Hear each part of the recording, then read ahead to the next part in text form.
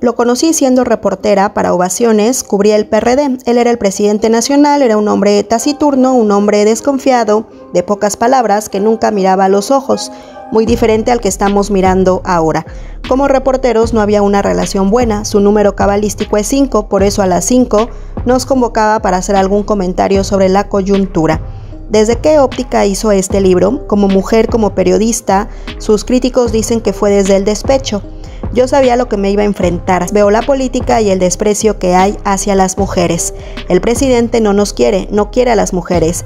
Las vallas que están en Palacio Nacional son para las mujeres. Yo estoy consciente que esto me iba a pasar, me iban a atacar por mi género. Estoy consciente que este linchamiento se iba a dar. El presidente dijo que no se metía en temas personales y sentimentales. En la mañanera dijo que no se metía en temas sentimentales, pero envió un mensaje muy subliminal y peligroso que ya se está viendo.